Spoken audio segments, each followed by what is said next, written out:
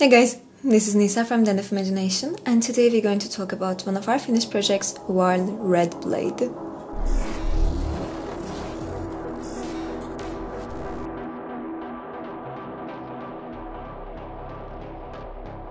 So here in this project we have one mini and he is Hvarl Red Blade and this is a level 6 plus plus mini so the level 6 with some upgrades. Let's talk about him and how we approach to him.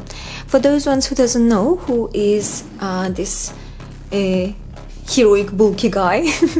And he is actually also known as the space uh, um, wolf lord. Sorry not space wolf lord. And because he is the commander of the uh, space wolves in the seventh squad and he is also known as getting his enemies heads as trophies. So leaving this information here too. And let's talk about the paint job a little so in this project as you see uh, this is like I said a level 6 plus plus um, miniature.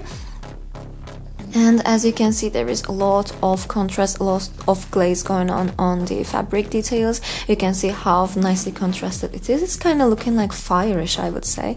It started off with the dark purple shade as you can see and goes to the yellow even he's the students of color theory here.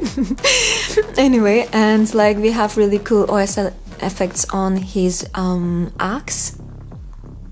You can see some uh, dead guys over here. And um, really cool um, no metallic metals on his armor really neatly edge lightened and um, OSL'd let's say a weapon he has. I think this looks super super super cool. We have a Space Wolf symbol on their shoulder pads. Really cool gem detail here. Super cool face details really good one. This is also Forge World um, scheme, close to box art with a little bit more contrast, I would say. I think this turned out really well, really cool snow uh, details on the base. And also you know, by the way, that you can separate this mini from its base. But I don't want to do it right now, I'm kind of the painter done really good job here. The blood effects on the snow looks really um, out of quentin tarantino i would say.